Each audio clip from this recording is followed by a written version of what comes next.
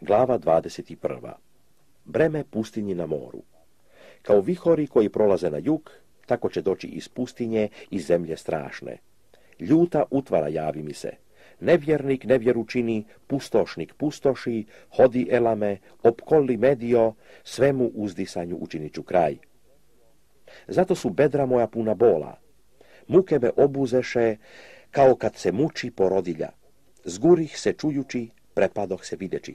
Srce mi se smete, groza me poduze. Noć milina mojih pretvori se u strah. Postavi sto, stražar neka straži.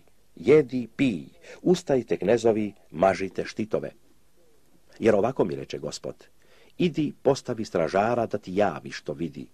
I vidje kola, i dva reda konjika, kola s magarcima i kola s kamilama, i pažaše dobro velikom pažnjom.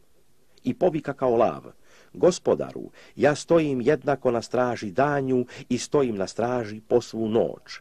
I evo dođoše s kolima ljudi u dva reda konjici. Tada povika i reče, pade, pade Babilon i svi rezani likovi bogova njegovih razbiše se o zemlju. Vršaju moj i pšenice gumna mojega, što čuh od gospoda nad vojskama, Boga Izraelova, javih vam.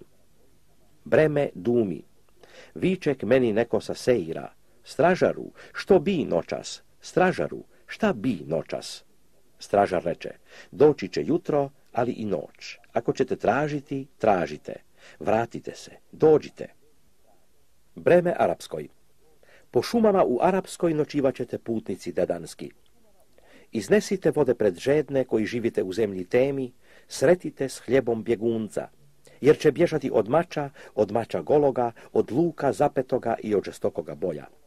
Jer ovako mi reče gospod, za godinu, kao što je godina najamnička, nestaće sve slave cedarske. I što ostane hrabrih strijelaca sinova cedarskih, bit će malo, jer gospod Bog Izraelov reče.